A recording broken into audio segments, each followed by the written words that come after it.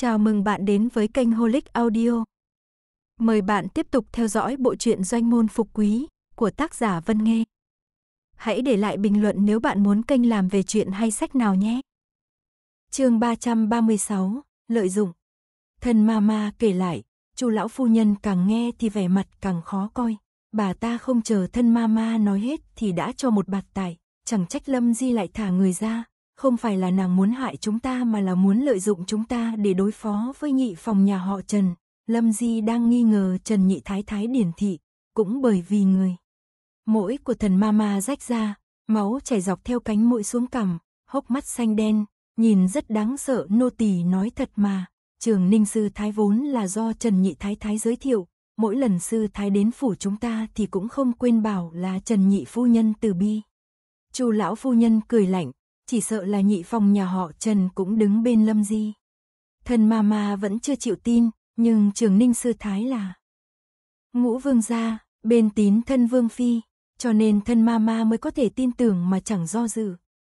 Chu lão phu nhân nhếch miệng, trong lòng bà ta sinh ra một dự cảm chẳng lành, sai người đi nghe ngóng, xem đến cùng nàng ta muốn làm gì. Qua hai ngày, bầu không khí trong kinh thành dần trở nên căng thẳng, các nữ quyền cũng bớt tham gia yến hội, e Lâm Di ở yên trong phủ chuyên tâm chăm sóc Huy ca. Lâm Di cầm lấy bàn tay nhỏ bé của Huy ca, nhìn Huy ca thì dường như chẳng thay đổi gì NPH tương quần áo lại nhỏ rồi, đúng là đang lớn dần lên, mặt mày cũng dễ nhìn hơn lúc mới sinh. Vú nuôi đứng cạnh cười thưa, thế tử ra vốn rất dễ nhìn, bây giờ lớn dần thì lại càng đẹp hơn. Con của mình thì tất nhiên mình sẽ cảm thấy đứa bé này là tốt nhất. Lâm Di đùa với Huy ca, Huy ca mở to mắt nhìn nàng, thỉnh thoảng lại cười. Lâm Di đang định hỏi chuyện nhà của mấy nhũ mẫu thì lại thấy nhũ mẫu đang hành lễ. Nàng quay đầu thì thấy Chu Thập Cửu đang mặc quân phục đứng đó. Này quận vương gia về sớm thể, Lâm Di bể Huy ca lại cho Chu Thập Cửu nhìn.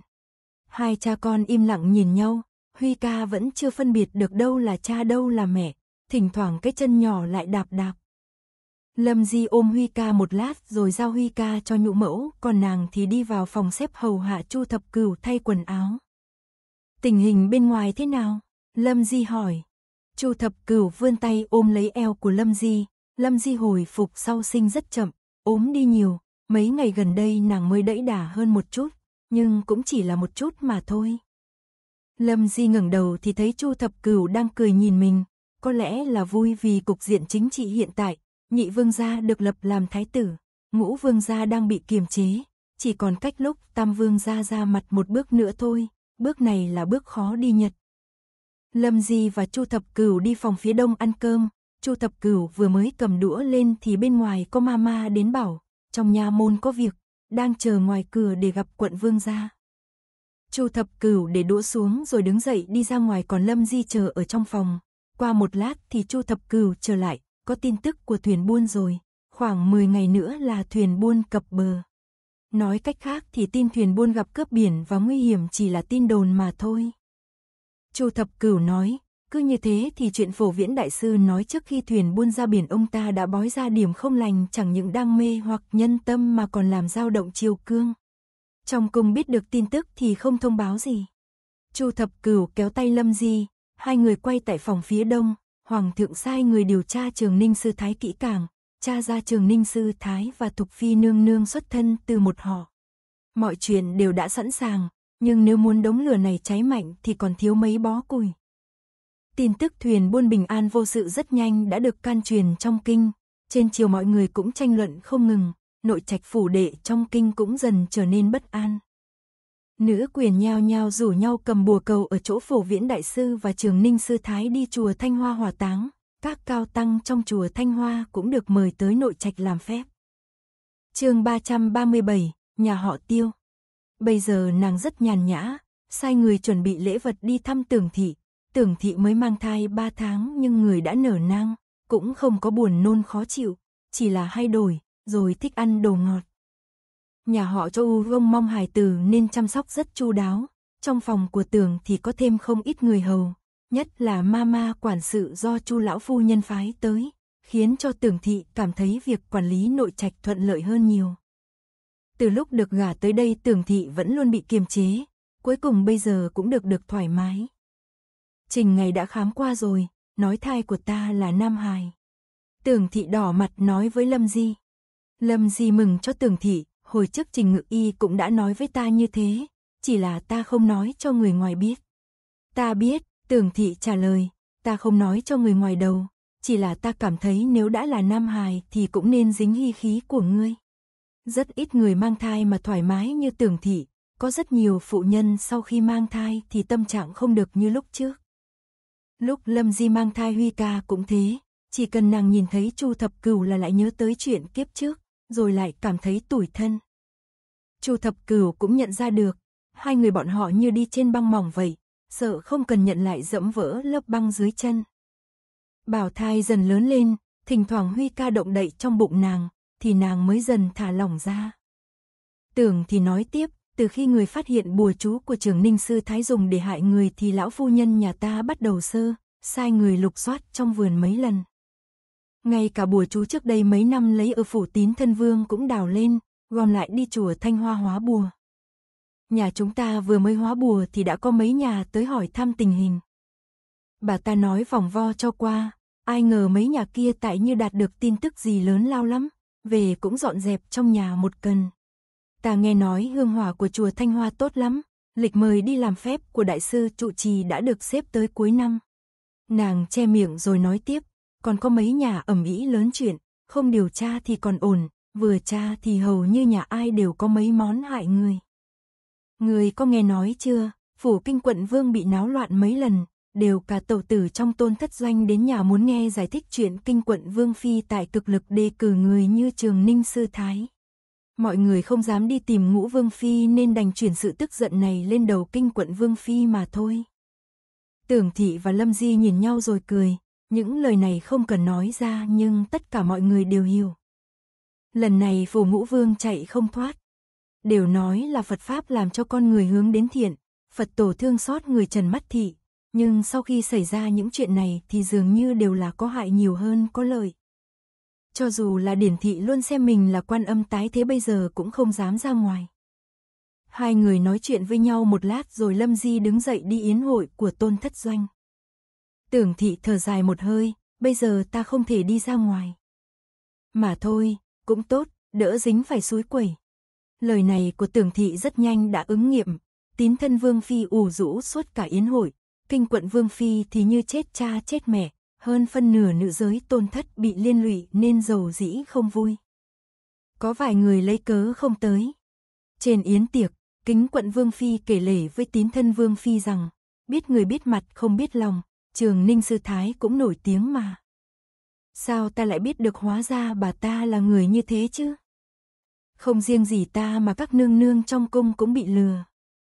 Pháp hội cầu phúc cho Thái hậu nương nương vẫn luôn do trường ninh sư Thái chủ trì. Sao lại nói ta làm thế vì tiền bạc chứ? Nàng ta nhìn chằm chằm vào tín thân vương phi rồi nói tiếp, họ đều bảo là trường ninh sư Thái chia bạc cho ta nên ta mới có thể quên nhiều tiền xây kim tháp như thế. Ta oan quá mà, người biết mà đúng không, tín thân vương phi. Sắc mặt của tín thân vương phi trầm xuống, nữ quyền trong phòng đều đang im lặng uống trà. Chuyện xây kim tháp là do phủ tín thân vương khởi xướng, phủ kinh quận vương quyên góp nhiều nhất. Bây giờ ngay cả kính quận vương phi cũng nói như thế thì đúng thật là đã giải đáp vài sự ngờ vực cho người ta, nói không chừng bảo là tận hiểu vì Thái hậu nương nương là giả, còn mưu lợi mới là thật. Yến hội của phủ tín thân vương kết thúc rất nhanh, khi tôn thất phụ ngồi xe về phủ của mình thì thấy nha môn dẫn một đội quan binh chạy về phía phủ tín thân vương. Kịch vui của phổ viễn đại sư và trường ninh sư thái cuối cùng cũng kết thúc. Chu thập cửu đi tuần trở về, Lâm Di vẫn còn chưa ngủ, nàng hầu hạ chàng thay quần áo rồi tắm rửa, hai người vào trong phòng nói chuyện. Chu thập cửu khẽ nói, tín thân vương bị cách chức điều tra, Hoàng thượng thăng Huệ thân vương vốn đang là chủ quản thái thường tự thành thừa phủ tông nhân phủ. Huệ thiên Vương và Tín Thân Vương Phi làm việc rất khiêm tốn, bình thường không lộ mặt, lúc mọi người tập hợp lại một chỗ Huệ Thân Vương Phi cũng rất ít khi nói chuyện. Lâm Di nhớ tới dáng vẻ kính cẩn của Huệ Thân Vương Phi lúc ở trước mặt Hoàng hậu nương nương, lúc nàng giúp đỡ nhà họ nhân thì Huệ Thân Vương Phi cũng đã giúp một chút. Nàng nhìn vẻ tươi cười của Chu Thập Cửu, rất nhiều chuyện không nên nhìn qua vẻ ngoài. Chu thập cửu giấu rất sâu, nhà Huệ thân vương cũng có thể như thế. Phủ chúng ta và phủ Huệ thân vương chỉ là xã giao bình thường, ta còn tưởng là quận vương gia và Huệ thân vương không có giao tình gì chứ. Mặc dù Lâm Di nói rất thản nhiên, nhưng cái mũi nhỏ nhắn lại, dường như hơi trách móc. Chu thập cửu kéo Lâm Di lại, mọi người mạnh ai nấy làm, chuyện không thành thì tương lai cũng chẳng gặp nhau. Cho dù là nhà ai gặp nạn thì cũng sẽ không đưa tay giúp đỡ. Nếu như thật sự phải nhắc đến giao tình thì cũng phải đợi đến lúc cuối. Ta biết, Lâm Di nhẹ giọng nói, cục diện chính trị phức tạp hơn những gì ta nghĩ nhiều, không biết thì tốt hơn. Giấu càng sâu càng khó bị bắt thóp, nếu như chuyện không thành thì cũng sẽ bị lịch sử chôn vùi đi. Phủ tín thân vương bị kiểm kê tài sản, Huệ thân vương lĩnh tông cảnh, những thay đổi này chỉ trong chớp mắt mà thôi. Phổ viễn đại sư, trường ninh sư thái và mấy đệ tử hay ra vào nội trạch đã bị giết rồi thì chúng. Bạn đang nghe chuyện trên kênh Holic Audio. chương 338, nhà họ tiêu. Cùng mama trở về bảo tin, nghe nói là hai tiểu ni cô chỗ trường ninh sư thái đưa trường ninh sư thái lên xe rồi ra khỏi thành. Lầm gì sai người đi xem, cũng chẳng qua là nghĩ đại tới lúc sóng yên biển lặng rồi mới nghĩ cách hậu tàng trường ninh sư thái. Từ đó có thể thấy cách làm người của trường ninh sư thái như thế nào. Máu của phổ viễn đại sư còn chưa khô, phủ kính quận vương đã bị niêm phong. Rừng táo dưới danh nghĩa của kính quận vương cũng bị triều đình trả cho nguyên chủ, những hành động này của triều đình đều nhằm về ngũ vương gia. Ngũ vương gia không bị trách phạt, trong cung cũng không hề truyền tra tin tức thực phi bị khiển trách. Sự sủng ái mà Hoàng thượng dành cho ngũ vương gia và Thục Phi dường như để người ta không thể tưởng tượng nổi, cho dù thế nào cũng không dao động được địa vị của hai người họ. Sau khi thuyền buồm của Đại Chu cập bến thì được Hoàng thượng lệnh tổng binh hộ tống vào kinh. Lúc đi thì thuyền buôn mang theo rất nhiều tài vật, giờ trở lại thì mang theo vô số kể các bảo vật quý hiếm. Quốc khố chưa từng đầy như thế này, mọi người cảm thấy vui mừng khôn xiết. Ngôn quan, ngự sử vẫn không quên giới một chậu nước lạnh, nhắc đến mấy khuyết điểm khi thành lập thị Bách Ti, nhưng cái này chẳng thể ngăn cản bước chân cải cách của hoàng đế. Chuyện thiếp lập thị Bách Ti chính thức được nhắc tới, hoàng thượng còn đặc biệt mở khoa khảo. Trong nhất thời thì chuyện thị Bách Ti được toàn dân cả nước thảo luận sôi nổi. Mặc kệ bên ngoài có loạn như thế nào nhưng phủ Quảng Bình Hầu vẫn rất yên tĩnh, tiểu tiêu thị không còn phải lo lắng hãi hùng cho Trần Doãn Viễn nữa. Cuối cùng cũng đã dùng toàn bộ tinh thần tập trung vào phủ Quảng Bình Hầu, nhất là Trần Lâm Hoành. Lâm Di đi mời yến hội về thì thấy hai vị tiểu thư của nhà họ tiêu. Hai vị tiểu thư đều rất hào phóng khéo léo, khiêm cung hữu lễ. Nhất là nhị tiểu thư, gương mặt rất thanh tú. Tiểu tiêu thị cũng nghiêng về phía nhị tiểu thư hơn, thừa dịp nữ quyền nhà họ tiêu nói chuyện với lão thái thái thì kéo Lâm Di sang một bên nói nhỏ, con thấy nhị tiểu thư nhà họ tiêu thế nào? Lâm Di ngồi uống trà rồi ngẫm nghĩ nói, tổ mẫu nói sao? Tiểu tiêu thị mỉm cười, lão thái thái nói cũng không tệ, tuổi cũng đã lớn, có thể sớm vì phủ thêm cành thêm lá. Chỉ nói là tuổi lớn nhưng cũng không nói tính tình ra sao, hoặc là nhị tiểu thư trong ngoài bất nhất, hoặc là tổ mẫu không hài lòng nhà họ tiêu. Tiểu tiêu thị nói, hôm nay ta muốn định hôn sự. Có gấp quá không? Lâm Di đặt chén trà xuống, con thấy nhị tiểu thư vẫn còn nhỏ, hình như vẫn chưa cập kê. Tiểu tiêu thị không nghe ra được ý trong lời nói, làm gì có chuyện đợi tới lúc cập kê mới đính hôn chứ, đều là có hôn ước mấy năm rồi mới kết hôn. Bà dùng một chút rồi nói tiếp, mặc dù lão thái thái không nói nhưng chắc chắn muốn ôm tặng tôn, nếu hôn sự của ca ca côn lại dề ra nữa thì chẳng biết lúc nào mới được. Lúc trước nghĩ là ca ca người phải tham gia khóa cử, bây giờ ca ca con lại một lòng muốn tổng quân. Ta sợ một ngày nào đó nó đi đánh trận thật thì... Trong phòng chẳng có một người có thể làm chủ, hóa ra tiểu tiêu thị lo lắng điều này. Lâm Di nhắc nhở, hôn nhân đại sự, mẹ không nên gấp gáp, phải từ từ thăm dò mới tốt. Không phải là trước đó vài ngày mới nói là nhà họ tiêu không thân thiện như lúc cha vẫn còn làm quan trọng chiều sao. Tiểu tiêu thị nghe thể thì giật mình, khi đó là do mợ con bị bệnh. Lâm Di nói nhỏ, vậy nhà cữu cữu có hỏi chuyện phục chức của cha không? Đúng là có thật, mỗi lần gặp mặt đều nhắc tới, tiểu tiêu thị xấu hổ. Dù sao cũng là người nhà họ tiêu, có một số việc cho dù tổ mẫu đã nhìn ra cũng không nói toạc ra được. Lâm Di nở nụ cười, sự thay đổi này quá lớn, coi như con mang lòng tiểu nhân đi, nhưng cẩn thận vẫn tốt hơn. Dù sao thì bây giờ cũng không thể thành thân ngay được, thăm dò thêm nửa năm một năm gì đó cũng không phải là chuyện xấu. Tiểu tiêu thị thất vọng, vậy thì theo ý con vậy, thăm dò thêm rồi tính tiếp. Ăn xong yến hội thì mọi người tụ tập trong phòng khách nói chuyện. Lão Thái Thái cảm thấy mệt mỏi nên để tiểu tiêu thị dìu đi nghi. Tiêu Thái Thái vẫn chưa muốn đi, cười quay qua nói chuyện với Lâm Di. Tiêu Thái Thái bệ chén trà lên, nghe nói gần đây trong chiều không bình yên lắm. Ta còn tưởng rằng quận Vương Phi sẽ không tới, không cáo từ rời đi tức là muốn nghe ngóng tin tức từ Lâm Dị, chẳng trách tổ mẫu to lắng chuyện hôn sự này. Lâm Di ngẩng đầu lên nhìn Tiêu Thái Thái, đó là chuyện của đàn ông, phụ nữ chúng ta không thể nhúng tay vào. Mấy lần trước không tới là vì tôn thất doanh có việc, không rảnh đi. chương 339, cấm túc.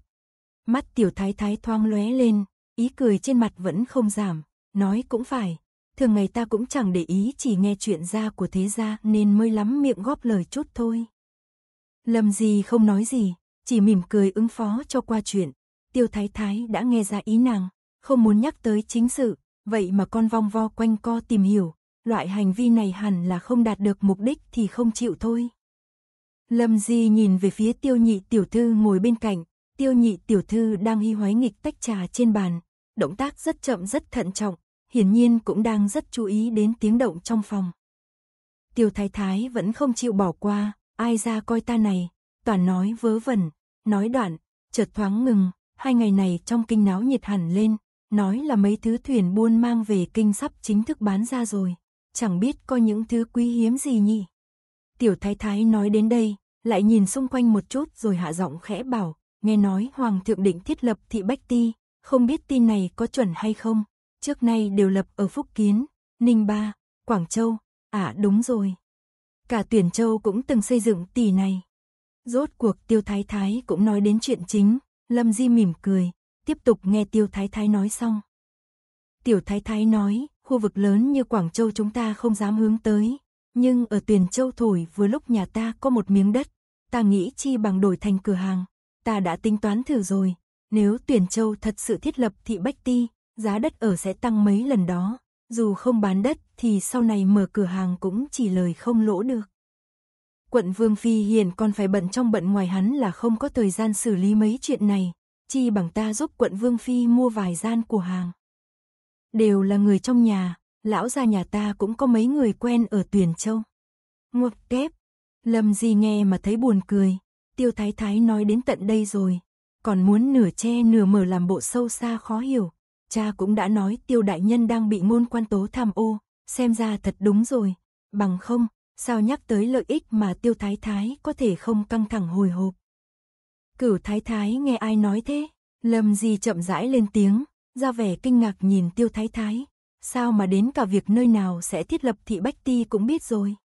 Nụ cười trên mặt tiêu thái thái thoáng cứng đờ, thì mọi người đều đang bàn tán thế mà. Lâm Di nói, e rằng còn chưa chờ được cứu thái thái ra tay thì đất của Tuyền Châu cũng đã leo giá rồi. Nếu cựu thái thái có đất ở đó thì cứ ngồi chờ là được, cần gì phải bôn ba vất vả làm chi nữa. Ta không có ý định mua đất ở vùng ngoài, mấy gian cửa hàng trong kinh đã đủ để ta sứt đầu mẻ chán rồi, cựu thái thái đừng kéo ta vào làm gì. Bị từ chối thẳng thừng như vậy, sắc mặt tiêu thái thái khá là khó coi, bà ta khụ khụ hai tiếng rồi nâng tách trà lên uống, trà đã thấy đáy mà vẫn chẳng nhấp ra mùi vị gì. Lâm gì cố ý không nói thêm gì, bầu không khí trong phòng thoáng sượng sung. Lúc này, tiêu nhị tiểu thư bỗng mở miệng, khăn của quận Vương Phi đẹp quá, ta chưa từng thấy dạng hoa thêu này bao giờ. So với tiêu thái thái, tiêu nhị tiểu thư có khả năng ứng phó với cục diện xấu hổ như thế này tốt hơn nhiều. Lâm gì còn chưa đáp lời, tiểu tiêu thị đã bước vào cười nói, đang trò chuyện gì vậy? Tiêu nhị tiểu thư tươi cười đáp, đang nói kỹ năng theo thùa của quận Vương Phi tốt quá, ta thì chỉ là kẻ tay chân vụng về, nhà cũng đã mời mấy vị sư phụ thiêu thùa về dạy mà vẫn không dạy nổi ta đấy. Tiểu tiêu thị nhìn sang lâm di, quận vương phi thích an tĩnh lại khéo tay nữa. Sắc mặt tiêu thái thái đã bình thường lại, bà ta nhìn về phía tiêu nhị tiểu thư, nói, con về phải chịu khó học hỏi thêm mới được. Tiêu nhị tiểu thư vội vàng thưa vâng, cứ thế, bầu không khí đã trở nên thoải mái hơn. Thấy không còn sớm nữa, tiêu thái thái và hai vị tiểu thư đứng dậy chào ra về, tiểu tiêu thị tiễn người ra cửa thủy hoa. Lâm Di đến phòng lão thái thái nhánh cả nói chuyện, nhắc đến Huy ca, Lâm Di nói không ngừng, mấy hôm nữa sẽ đưa Huy ca về cho tổ mẫu xem nhé. Lão thái thái nhánh cả vội khoát tay, không được, đừng đưa đến, nó còn nhỏ quá không nên cho gia phù. Phải chờ tới đầy tuổi rồi hãng tính, năm đầu tiên trong đời, trẻ không thể ra khỏi cửa, người xưa nói trẻ nhỏ cần phải cắm rễ trong nhà, không thể di chuyển nhiều, bằng không lúc lớn lên sẽ không được khỏe mạnh. Lão thái thái nhánh cả kéo tay Lâm Di, thân mình con thế nào rồi? Kinh Nguyệt đã như cũ chưa? Lâm Di gật đầu, đã có rồi à? Con đã dùng thuốc lâu rồi.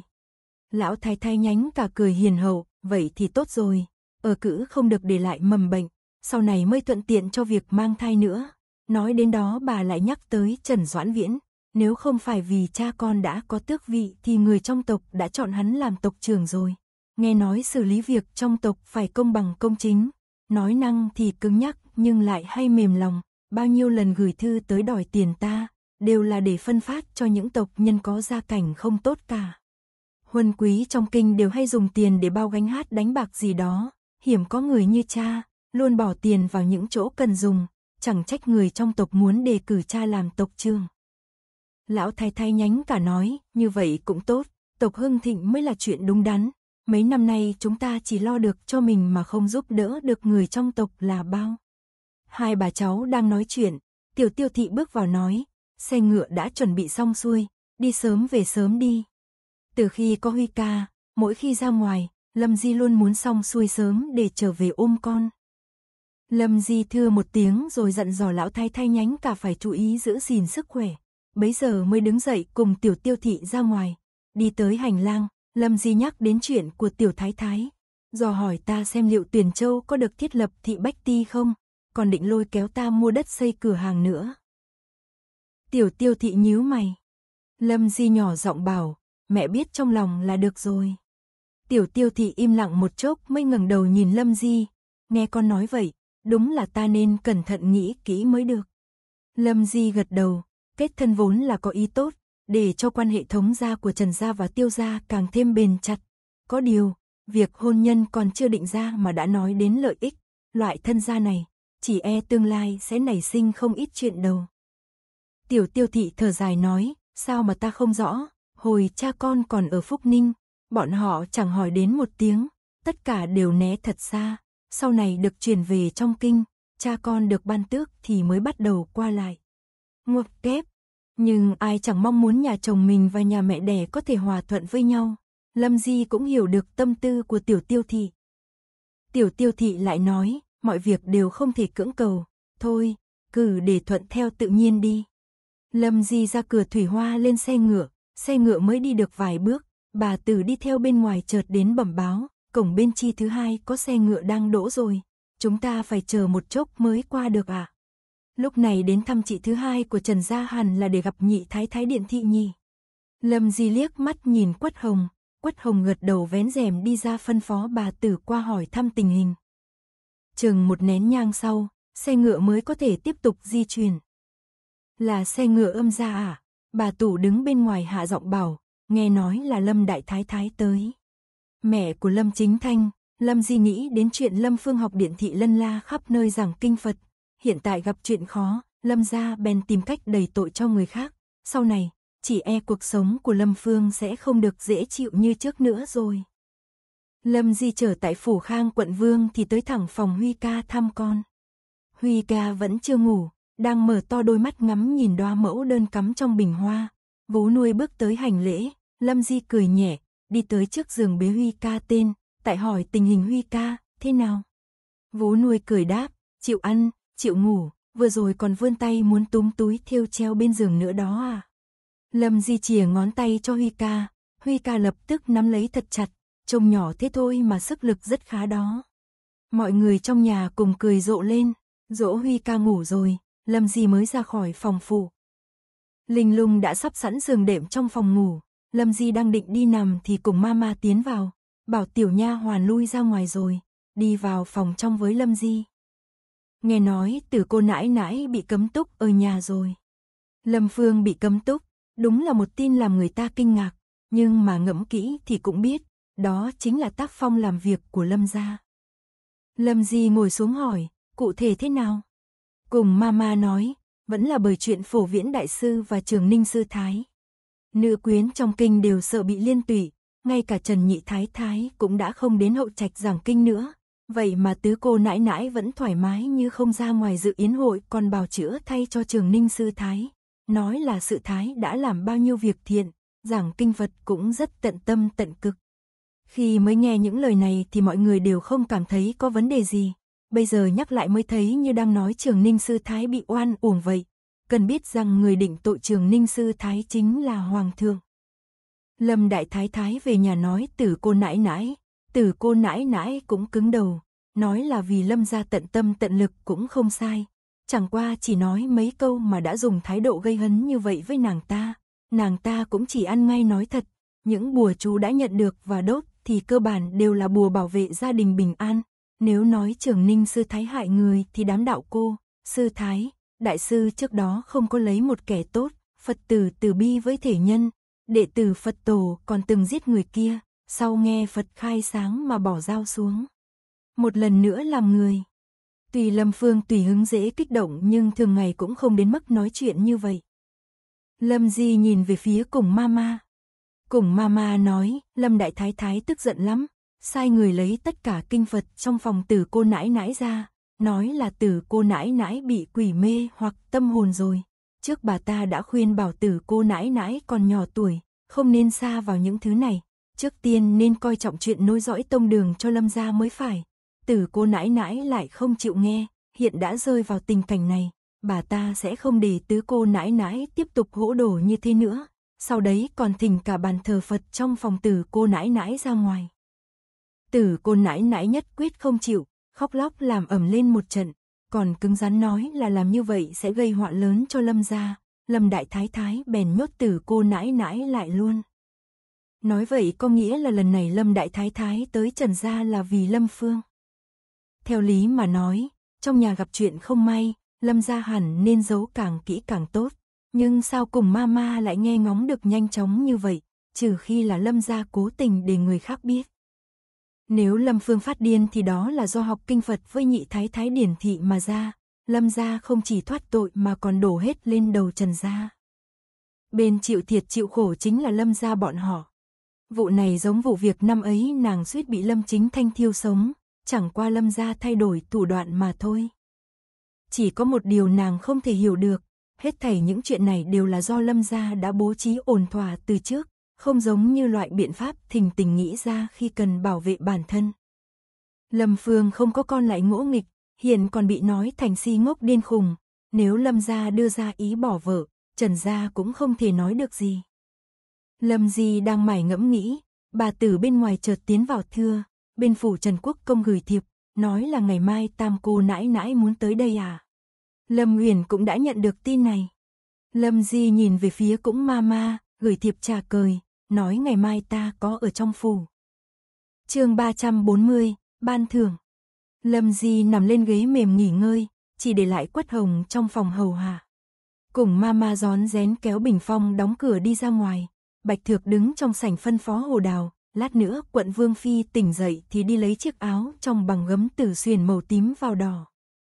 Không khí trong viện thật an bình, cùng mama thở phào, từ ngày đi theo quân Vương Phi tới trụ gia, nhìn thấy chu lão phu nhân tươi cười và vị đại thái thái cứ nhìn chằm chặp kia, bà còn phát sau mà nghĩ, chẳng biết đến bảo giờ mới có thể có được như ngày hôm nay, không ngờ ngày này tới nhanh như vậy, đại lão gia và đại thái thái chết, địa vị của lão phu nhân cũng xuống dốc không phanh, quận vương phi sinh thế tử, nay đại đa số hạt nhân của phủ quận vương đều đã một lòng với quận vương phi.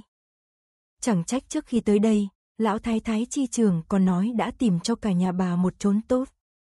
Nghĩ đến đây, bước chân của cùng mama trở nên nhẹ nhàng hơn hẳn. Cùng mama vừa ra khỏi cổng Nguyệt Lượng liền thấy bà tử ra đón đường. Cùng mama nhanh chân bước vài bước, hỏi, chuyện gì vậy? Bà tử nói, ngoài cửa có quan gia tới, bảo quận Vương Phi chuẩn bị chút, triều đình có ban thưởng à. Cùng mama vui vẻ, vội hỏi bà tử, quản sự có thể qua đó không? Bà tử gật đầu. Lúc này cùng mama mới nâng váy chạy trở về nhị tiến viện, Bạch Thược vừa mới sai bảo tiểu nha hoàn cắm mấy cành hoa mới cắt, đang định dẫn người ra ngoài. Cùng mama bước đến nói, mau đi múc nước hầu hạ quận Vương Phi rửa mặt chải đầu, bên ngoài có quan gia tới báo tin, Hoàng thượng có ban thưởng tới đây. Bạch Thược không giấu được nụ cười trên môi, nô tỳ đi sắp xếp ngay đây. Nghe thấy động tĩnh ngoài bình phong, Lâm Di mở mắt, giờ nào rồi? Cùng mama đi vào hầu hạ, người mới ngủ chốc lát thôi. Nói đoạn, lại trình bày việc ngoài kia, nô tỳ đã phân phó người đi múc nước, lấy quần áo rồi. Ngay sau đó, nha hoàn và bà tử lần lượt đi vào hầu hạ Lâm Di sửa soạn thay đồ. Nửa canh giờ sau, Chu Thập Cửu và Lễ Quan vào phủ, Lâm Di ra viện ngoài cùng Chu Thập Cửu quỳ xuống tạ ơn. Theo từng lời sướng đọc của Lễ Quan, từng tương đồ lớn lớn bé bé được khiêng vào sân viện. Chu Thập Cửu tự tay tiếp nhận chiếu chỉ ban thưởng, Lễ Quan cười mời Lâm Di kiểm đồ, Chu Thập Cửu nhận ngân phiếu từ tay quản sự đưa cho Lễ Quan. Lễ Quan cười nói, huân quý và tôn thất trong kinh được ban thưởng không ít. Phần này của quận vương gia quý trọng hiếm có đầy, có thể thấy được hoàng thượng nể trọng quận vương gia thế nào.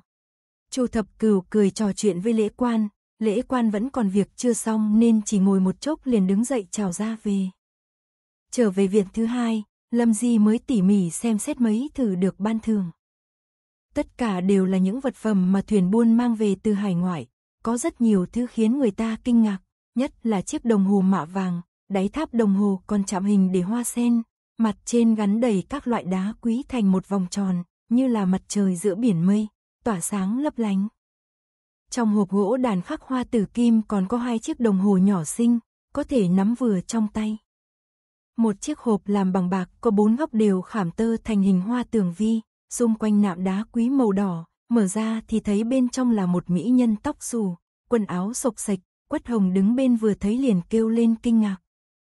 Lâm Di mỉm cười nhìn về phía Quất Hồng, Quất Hồng còn chưa hoàn hồn, đang yên đang lành lại ra một thứ như vậy. Lâm Di sai người lấy tháp đồng hồ báo giờ ra trưng bày ở đa bảo các, lại chọn thêm mấy món trang sức đẹp đẽ tinh xảo cùng vật trang trí, còn lại để cùng Mama và Bạch Thược chỉ huy người thu vào kho. Chu thập cửu tiễn lễ quan xong bèn trở lại, Lâm Di theo chàng vào phòng bên thay đồ. Chu thập cửu cười nhìn Lâm Di, nói, chọn lấy vài món được ban thường đưa sang phủ Quảng Bình Hầu, để mọi người cùng ngắm mấy thứ mới lạ này, sang năm mở thị Bách Ti rồi, những thứ này tại thành thứ thường thấy. Nói vậy có nghĩa là, chuyện tập thị Bách Tỷ đã được xác định rồi. Lâm Di mỉm cười nó, đúng là có rất nhiều thứ mới lạ. Chu Thập Cửu nói tiếp, mấy ngày nay Hoàng thượng liên tiếp triệu kiến nhị vương gia, Nam Thư Phòng có truyền ra một tin, Hoàng thượng tinh triệu trịnh các lão về chiều. Ngày này cuối cùng cũng tới, Hoàng thượng muốn tập nhị vương gia làm thái tử. Lâm Di ngẩng đầu lên, nói vậy thì đây là chuyện sắp tới ư. Chu thập cửu gật đầu, Hoàng thượng đã quyết định rồi, chỉ còn thiếu một chiều thứ nữa thôi. Như vậy, Hoàng hậu nương nương và nhị vương gia đã bị buộc chặt vào cùng một chiếc thuyền, tình hình này giống hệt tình hình kiếp trước. Dựa theo mưu tính của Tam Vương gia, thì chỉ còn cách ngày công thành một bước mà thôi. Lâm Di nhớ tới nụ cười hiền lành của Hoàng hậu nương nương khi người nhìn nàng. Nếu Nhi vương gia thật sự mưu phản, Hoàng hậu nương nương chắc chắn không thể bảo vệ bản thân. Hoàng hậu nương nương từng giúp nàng, cũng từng cứu nhân gia, không biết người có từng nghĩ tới hay chăng, rằng những người như bọn họ đây tuyệt không đáng tin chút nào. Chu thập cửu bắt được ánh mắt ảm đạm của nàng, chàng nói, ta đã nói với nàng, ta giết đạo sĩ của Thượng Thanh Viện. Nhắc tới điều này, Lâm Di chợt tỉnh táo lợi. Ý cười trên mặt Chu Thập Cửu không hề suy giảm, ánh mắt càng sâu xa hơn. Đạo sĩ Thành Diễm của Thượng Thanh Viện có một người huynh đệ song sinh, người bên ngoài không hề hay biết. Huynh đệ song sinh, nếu thật sự giả danh nhau, người khác nhất định không nhìn ra được. Từ trước đến nay, Chu Thập Cửu luôn tránh không nhắc tới chuyện giết Thành Diễm, hiện tại nhắc tới hơn là muốn nói thực tình hình cho nàng hay. Chu Thập Cửu thấp giọng bảo, ta đến thủ đô thứ hai dẫn thành diễm, Tam Vương ra giao một mật thư cho ta, bảo ta tìm cơ hội diệt trừ thành diễm. Lâm Di ngẩng đầu nhìn thẳng vào đôi mắt trong suốt của Chu Thập Cửu, huynh đệ song sinh với Thành Diễm đang ở chỗ Tam Vương gia. Tam Vương gia bức thiết muốn giết Thành Diễm như vậy là bởi có thể thu lợi từ điều này. Chỉ có giết Thành Diễm mới có thể thể hiện giá trị của vị đạo sĩ này. Thành Diễm biến mất, Hoàng thượng phản ứng thế nào, cả triều đều biết, Hoàng thượng hết lòng tin tưởng Thành Diễm, nếu từng mất đi rồi lại lấy được trở về, ngài sẽ càng nắm chặt không buông, nhất là sau khi trải qua sự việc của Phó Viện Đại Sư và Trường Ninh Sư Thái. Trong mặt Hoàng thượng, chỉ có Thành Diệm mới là người chân chính có bản lĩnh và có khả năng giải được lời sấm. Lòng bàn tay Lâm Di đã dịn mồ hôi, đây quả là một nước cờ hay. Đi một vòng lớn chỉ để đạt được kết quả như vậy, tâm cơ của Tam Vương ra quả là sâu không thấy đáy, khiến người ta sợ hãi. Nếu lúc đó ta chỉ giấu Thành Diệm đi thì tương lai còn có cơ hội thay đổi, nhưng Thành Diễm đã chết, hết thảy những chuyện này đều đã có kết cục sẵn rồi. Chu Thập Cửu nhìn Lâm Di, Thành Diễm giả không chỉ có thể giải lời sấm mà còn có thể tung ra chuyện từng bị người ta đuổi giết. Dù tất cả những chuyện này đều là chuyện đã được bố trí từ trước, nhưng Hoàng thượng cũng sẽ hết lòng tin tưởng. Thành diễn giả sẽ nói là nhị vương gia phái người giết y, còn có thể nói phe phái ngũ vương gia cũng đang tìm y, y muốn quay về cung mà phải trải qua nhiều chắc trở khó khăn. Y luôn mang một tấm lòng lo lắng cho an nguy của triều đại chu, nhất định phải quay về giải thích lời sấm kia, chỉ có dẹp loạn nội đầu giữa nhị vương gia và ngũ vương gia thì ngày sau triều đại chu này mới có cơ thịnh vượng được. Chán lâm di đã dịn một lớp mồ hôi lạnh, nàng cảm thấy thật may mà chu thập cửu ủng hộ tam vương gia, quận vương gia cũng phải cẩn thận, giết thành diễm, dĩ nhiên quận vương gia là công thần, nhưng chỉ e ngày sau tân để đăng cơ sẽ nghĩ rằng những thủ đoạn khi xưa ấy thật không được quang minh chính đại. Công ủng lập đương nhiên thật rực rỡ, nhưng phía sau lại là vực sâu vạn trường. Chu thập cửu mỉm cười kiên định, nàng yên tâm, ta luôn có cách tách ra. Hôm sau, Lâm Huyền mang theo lễ vật tới nhà, thầy Huy ca đang được vú nuôi bể thì hâm mộ cười nói, đúng là thật có phúc, lần đầu đã được con trai rồi. Sau khi sinh con gái thì Lâm Huyền đã hơi mập ra, trong sắc mặt rất tốt, tóc vấn kiểu viên kế đầu cài hoa mẫu đơn đỏ bằng lụa, cằm bổ diêu song điệp bằng vàng, thoạt hình xinh đẹp dạng dỡ hơn trước rất nhiều. Từ sau khi lấy chồng, Lâm Huyền dồn hết tinh lực vào phủ trấn quốc công, trên có thể hầu hạ cha mẹ chồng vui vẻ, dưới có thể được lòng phu quân, dù lần này không sinh được con trai thì cũng không bị oán trách nhiều. Điểm thông minh của Lâm Huyền là ở chỗ biết làm thế nào mới đoạt được thứ mình muốn, không như Lâm Phương chỉ mải chạy theo những thứ xa vời. Lâm Di mỉm cười khách khí, nghe nói Trần Quốc Công phu nhân đã nhờ người tính qua, lần tiếp theo người sẽ có con trai. Mặt mày Lâm Huyền cũng vui vẻ hẳn lên, chẳng biết là thật hay giả nữa. Ánh mắt lại vừa chờ đợi vừa vui mừng. Người như Lâm Huyền luôn làm người khác cảm thấy rất chân thành, cho nên mọi người đều nguyện ý thân cận với nàng ta, nay nàng ta đã làm mẹ, dường như lại càng thêm dễ chịu thân thiết. Hai người trò chuyện về những đứa trẻ, Lâm Huyền bảo, không biết có phải do bà vú không tốt hay không mà Tú tỷ nhi cứ chớ sữa suốt, có lần còn đột nhiên sốt cao, làm ta lo lắng quá, mời ngày đến xem, sốt lên ba ngày, nổi mẩn khắp người, sau đấy mới khá lên. Thái nói trẻ con thường sẽ bị như thế một lần, người cũng nên cẩn thận chút. Lâm Di bèn hỏi, vậy giờ Tú tỷ nhi thế nào rồi? Uống sữa còn chờ ra nữa không? Lâm Uyển đáp, không phải lúc nào cũng chờ mà là hay bị sặc sữa. Không biết có phải do lúc mang thai, sức khỏe ta không tốt hay không, mà Tú tỷ nhi trông khá là nhỏ. Lâm Di nghe thể bèn lên tiếng, ta nghe nói Tú tỷ nhi vừa sinh lại vừa hoạt bát, làm mẹ thì cứ hay lo lắng nhiều như vậy đấy. Lâm Uyển cầm khăn che miệng, nở nụ cười, thì ai cũng vậy mà, sinh con ra liền dành hết tâm tư cho con, những thứ khác chẳng buồn nghĩ đến nữa. Nói vậy có ý là muốn cho nàng hay, nàng ta sẽ không có tâm tư khác nữa. Lâm Di liếc nhìn Lâm Huyền, Lâm Huyền cũng nhìn sang. Nụ cười trên mặt Lâm Huyền dần tắt, nàng ta thở dài, quận Vương Phi có nghe nói đến chuyện từ muội không? Lâm Di gật đầu, nghe lời đồn đãi thôi, cũng không rõ rốt cuộc thế nào. Lâm Uyển thận trọng nhìn Lâm Di, là thật đó, Lâm Đại Thái Thái đến nhà nhờ nhị thẩm qua khuyên nhủ Lâm Phương, trước phải làm tốt nghĩa vụ người vợ, người con dâu, sau đó hằng nghĩ đến niệm kinh bái Phật. Sáng nay nhị thẩm đã đến Lâm gia, không biết rốt cuộc thế nào.